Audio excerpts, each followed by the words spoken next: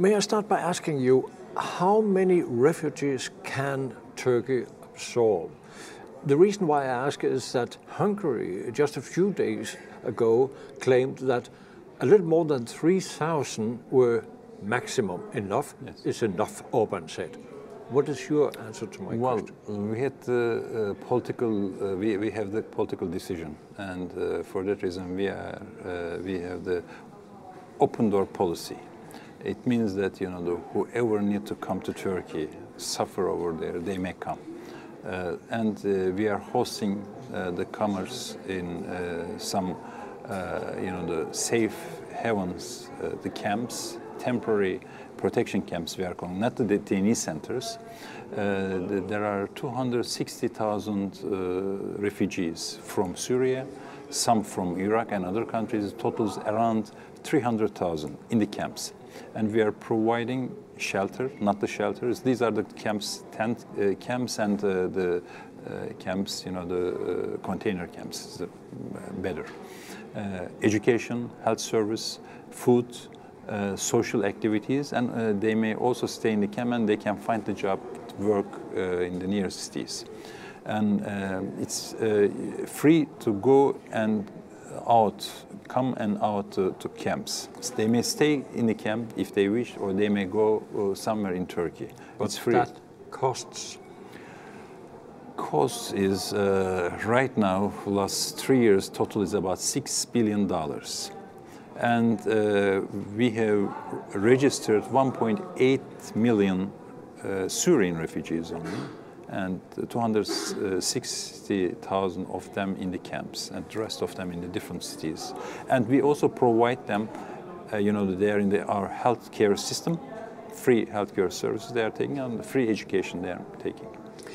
You came up with a question to the Secretary General of the, the United Nations, uh, Mr. Uh, Ban Ki moon, when he was here, and you had a brilliant idea, in my opinion. Yeah.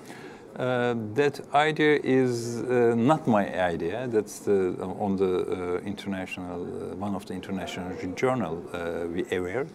And we uh, also introduced the professor who are dealing in that issues and he's very positive in that uh, issue uh, mr uh, i mean professor goodwin gill from oxford university.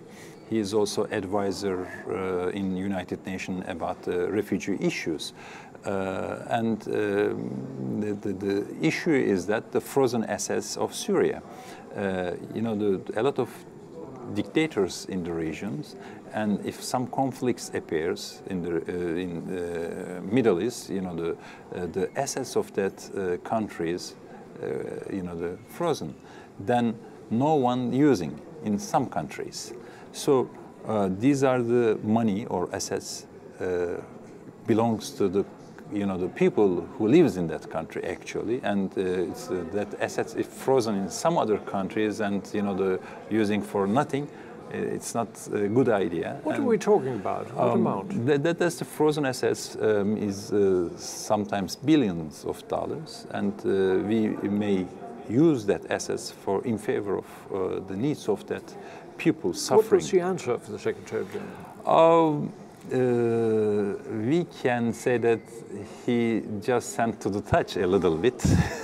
oh, uh, when we solve the problem in the region, you know, the, we can think about that one. It means that nothing because, you know, the, if you solve the problem that people would like to go back, uh, they, they, they, they, need right now. Mm -hmm. So exactly. we have to take the initiative and we have to start somewhere. Mm -hmm. And for that reason is uh, Council of Europe is very uh, proper way? institution. Oh, we, we are trying to uh, amend, uh, you know, the motion of resolution here about that frozen assets, and uh, we are trying to do something in United Nations also. But can't you go directly to those countries um, who are having those um, amounts in their banks? Yeah. Um, you said to what, what countries? Yeah, for instance, Switzerland. That's I obvious. I, I, don't know I, if I, I, I, don't know either. I mean, maybe there, maybe in other countries also. I mean, but uh, the system knows where uh, where is that money. Uh, or in which country, in which bank account. So you, you are not having concrete no. ideas where no, those no, money are. No, no. But it, it, it, uh, it happened in the past, as I said, that during the Gulf War era, uh, the frozen assets of Iraq used for the people of uh, uh, Iraq. But the background of all these is a misery in the country, the fight going on between IS and uh, several groups yes. within the country. Very mixed situation. How do you foresee it to be solved? Oh, uh, it's a very complicated problem uh, in the region, and uh, how do you describe IS in which country? Because you know, the, if there's a lack of uh, you know the uh, authority, it started in Iraq. Uh, right after 2003, then it's merged in other countries like but let's Syria. focus on, on yeah. your neighbor, on Syria. in Syria, I mean, there is no border right now between Syria and Iraq.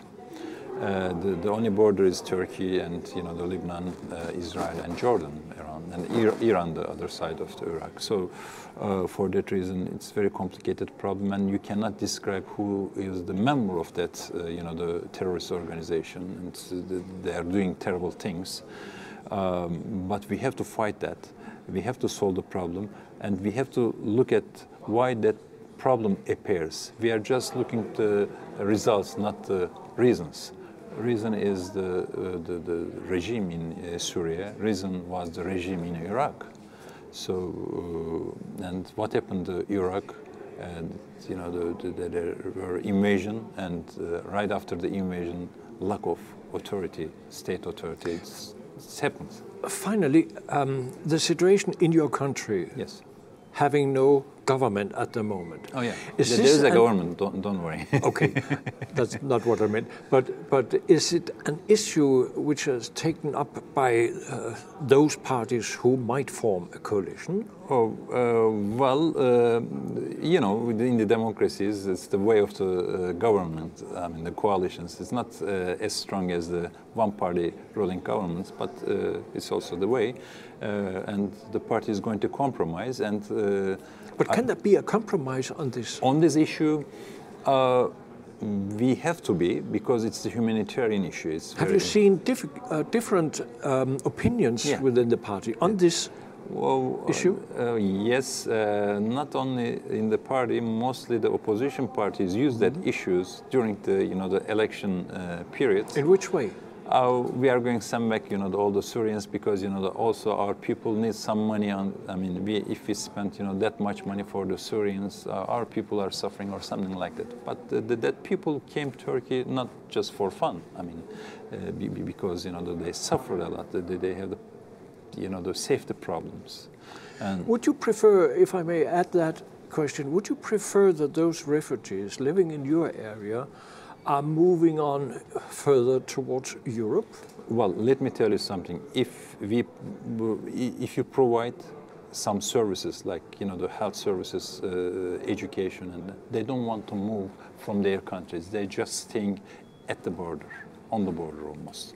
So uh, we are providing them, and uh, I believe that Turkey is doing a very great job for Europe because you know the, if we are not absorb that much people in Turkey, cannot provide education, health services, food, and job even. Uh, they that two million people would like to move uh, European countries to find uh, for, for, for, for, surviving. So for that reason, uh, it is not only our problem, it's the problem for uh, all over the world, world, especially the European countries, because you know the, uh, they are also in the part of this game.